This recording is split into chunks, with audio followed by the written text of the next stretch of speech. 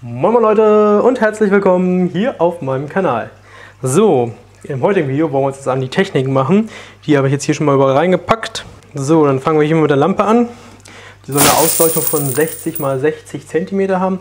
Unser Becken hat knapp 76 cm oder hat 76 cm. Ähm, sprich, wenn wir es in die Mitte packen, können wir nicht bis ganz nach außen was ausleuchten. Das ist aber nicht ganz so wild. Ich wollte jetzt nicht zwei Lampen drüber packen. Ähm, was mich aber noch ein bisschen stutzig macht, in der Anleitung steht, man soll es 30 bis 60 cm über dem Becken aufhängen. Und man kann einen Arm dazu kaufen, also den gibt es nicht direkt bei der Lampe dabei, aber der ist halt für diese Lampe gedacht. Und wenn ihr es mal anschaut, damit schafft man ja gerade mal so 25 cm. Das mal ein bisschen stutzig. Da müssen wir noch mal gucken, ob ich da noch irgendwie eine Verlängerung kriege oder so. Ähm, weil Gerade weil wir so ein flaches Becken haben, hätte ich ja gedacht, können wir mit der Lampe ein bisschen höher gehen, haben durch eine höhere Ausstrahlung, weil wir halt, weil wir ein flaches Becken haben, nicht so eine tiefe Tiefe haben. Sprich, wenn wir ein bisschen höher kommen, haben wir einen größeren Radius, den sie ausleuchtet. Aber so, wenn wir jetzt irgendwie hier ankommen, müssen wir schauen, wie das dann funktioniert. Hallo, hier spricht Zukunftsstones. Ich habe ein kleines Problem und zwar, wie ihr jetzt vielleicht seht, hinter mir schon Wasser und so drin. Also wir haben jetzt einen kleinen Sprung gemacht die Lampe hängt auch nicht mehr hinten, sondern an der Seite. Und auf der anderen Seite kommt auch noch eine Lampe hin. Das ist nämlich das Problem. Auf den ganzen Händlerseiten, wo ich geguckt habe nach dieser Lampe, stand da, die decken einen Durchmesser von bis zu 60 cm ab. Da habe ich dann gedacht, so bis zu 60 kann halt auch 20 sein. Und so ist es leider. Nicht ganz 20, aber wenn man mal auf Kessil auf der Seite guckt bei denen, da waren das 30, 32 cm, die die abdecken. Sprich, wenn wir zwei Kästchen nebeneinander haben, dann kommen wir auch irgendwo so bei 65. Das Becken hat 76, wir haben links und rechts ein bisschen Platz, also kommen wir eigentlich damit hin. Ähm, Problem ist aber auch, so eine Lampe hat nur 15 Watt. Und eigentlich sagt man ja immer 1 Watt pro Liter. Das ist ein 90 Liter Becken und ja, wenn wir zwei Lampen haben, sind es auch nur 30 Watt. Es ist halt die Frage, wonach man sich richtet. Das, was der Hersteller sagt oder das, was man so allgemein hört. Ähm, da ich jetzt schon eine habe, weil ich da schon die Schrauben gekürzt habe und so ein Spaß, hole ich mir erstmal die zweite und hoffe, dass es dann so hinhaut. Ich will ja auch nicht irgendwelche mega krassen SPS oder so dazwischen haben, sondern hauptsächlich LPS, Weichkorallen und vielleicht eine SPS und zwar die Milka, die soll relativ robust sein, aber die kommt dann auch erst später, wenn das Becken ein bisschen eingefahren ist. Ähm, da muss man dann mal schauen. Und deswegen will ich einfach hoffen, dass das damit funktioniert, wenn man halt nicht solche krassen High-End-Korallen reinpackt. Und dann kommt man auch hin mit dem Low Budget, weil dann ist es halt wirklich ein Low Budget Becken mit Low Budget Korallen nicht unbedingt. Es gibt auch teure SPS und Weichkorallen. Aber ja, halt keine SPS, wo es halt richtig krasse gibt. Und das werden wir halt nicht haben. Ja, ich bin auch noch im Gespräch mit Tunze. Die haben so den Hauptvertrieb in Deutschland von den Kessi-Lampen. Und mal gucken, was dabei rumkommt, was die mir sagen. Wenn die sagen, nee, geht auf gar keinen Fall, dann ja, geht es auf gar keinen Fall. Deswegen mal schauen, was daraus wird. Deswegen jetzt ein kleiner Sprung von Zukunftsstone. Und wenn ich hier drüber gucke, hier ins Display, damit ihr nicht die ganzen Korallen seht, die ja schon drin sind, weil sind Korallen drin. Und ja, deswegen gucke ich immer, ob ich nicht mich irgendwie ein bisschen bewege und ihr zu viel seht, was erst noch kommt. So, jetzt aber weiter im Video. Viel Spaß dabei. So, dann so ein ganz normaler E-Heimheizer mit 75 Watt. Dann haben wir hier von Tunze den Comline Dock Skimmer. Sprich haben wir hier Abschäumer und Skimmer in einem. Ähm, wie ihr seht, die ganze Technik, habe ich ja schon mal erwähnt im ersten Video, glaube ich, ähm, landet im Becken. Wir haben also kein extra Technikbecken, es wird alles mit hier drinnen verbaut. Dann von Tunze NanoStream eine Strömungspumpe, dann von Tunze noch so ein Scheibenreiniger, so ein Magnet. Und dann haben wir noch von Denne, von Dennerille Daniele, Daniele, denn Daniele, ich weiß nicht, wie man es ausspricht. Ähm, ein Thermometer, ja, was man also von außen so anhängen kann, dass man sieht, ob man da so bei den 24, 25 Grad sind, die ich hier fahren möchte. Ja, jetzt geht es daran, die Technik schon mal so grob zu verbauen. Ich werde die versuchen so ein bisschen zu kaschieren ähm, mit dem Aufbau nachher. Am liebsten alles halt auf einer Seite haben.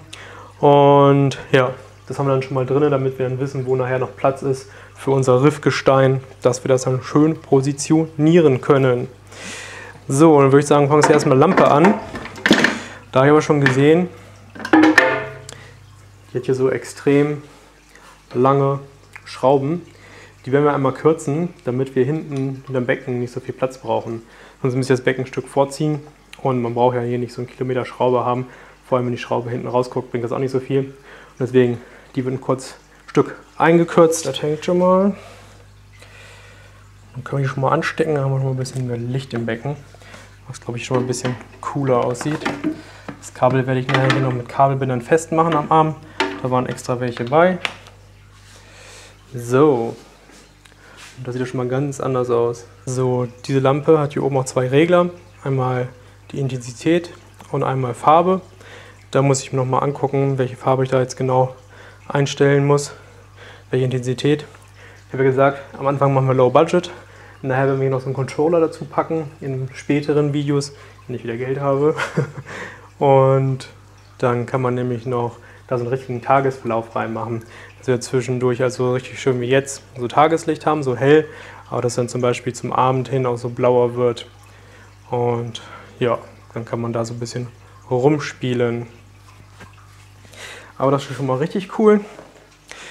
So, dann was ich erstmal noch nicht, glaube ich, ins Becken packen werde, weil es nur stört und ich es bestimmt nur runterruppen werde, ist einmal hier dieser Magnet, dieser Scheibenmagnet, Putzergerät.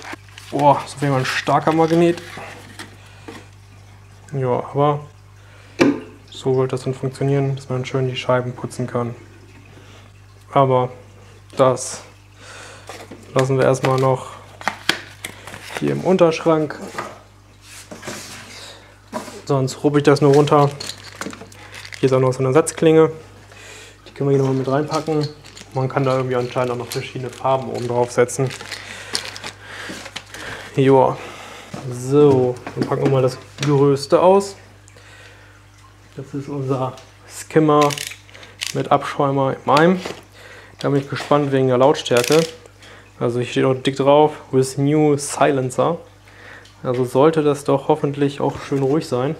Wir befinden uns hier im Wohnzimmer. Gibt es nachher Ärger mit meiner Freundin. So, hier ein Haufen Verpackungsmaterial. Warnhinweise. Kontrolliert. Übrigens made in Germany. Finde ich auch mal ganz cool. So, dann haben wir hier mal einmal so einen Reiniger, so schon zum Topf reinigen. Und hier haben wir noch irgendwas, was ich noch nicht weiß, was es ist. So, hier haben wir wieder mal genäht.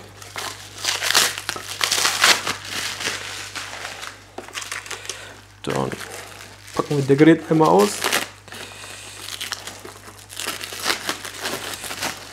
So, hier oben haben wir dann einmal den Topf. Dann kann man das halt immer zum Reinigen einmal um abmachen. Wieder draufsetzen. Hier oben gleich auch die Skimmer-Vorrichtung. So, den Skimmer habe ich jetzt hier nicht beiseite gepackt. Wenn ihr mal hier schaut, hier haben wir so zwei Magneten, mit denen wird er gehalten. Und hier kann man an dem Drähtchen auch noch die Luftzufuhr einstellen.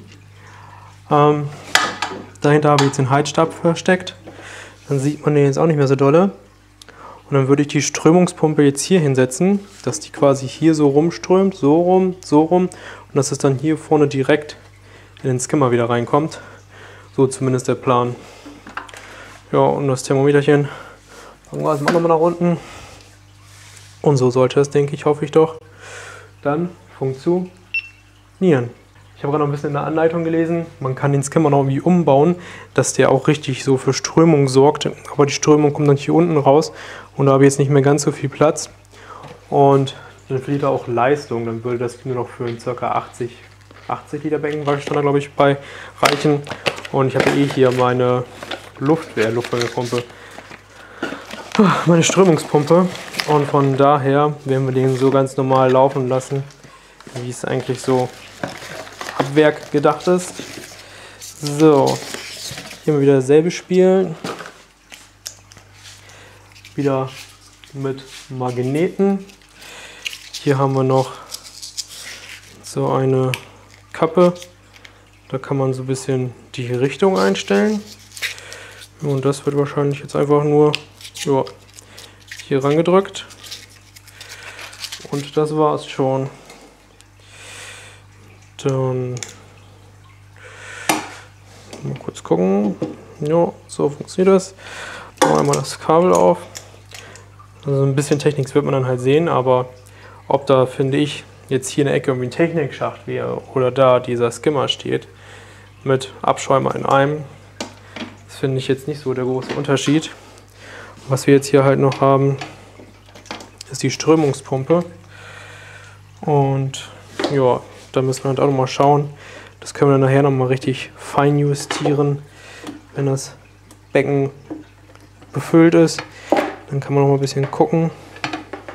Und ja, dann würde ich erstmal sagen, lassen wir das so. Viel mehr können wir jetzt noch nicht machen. Nächster Schritt wäre dann der Riffaufbau.